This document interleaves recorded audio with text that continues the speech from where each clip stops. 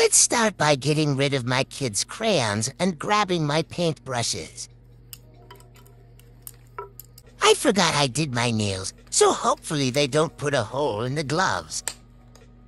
Being a responsible painter and cleaning off my palette, I tried to use a command strip to hold my phone up, and you see how that went.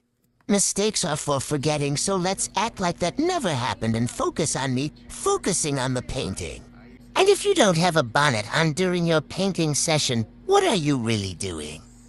I'm here for the paint, not the views. And boom, we're done.